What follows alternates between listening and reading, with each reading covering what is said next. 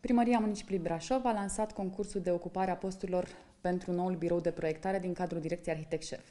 Cele trei posturi pe care le avem scoase la concurs sunt de urbanist, de inginer dezvoltare și sistematizare urbană și de inginer instalații. Importanța acestui birou este că de acum primăria va elabora planurile urbanistice, astfel încât să se asigure că vom avea o dezvoltare coerentă a orașului în plan cu viziunea administrației locale.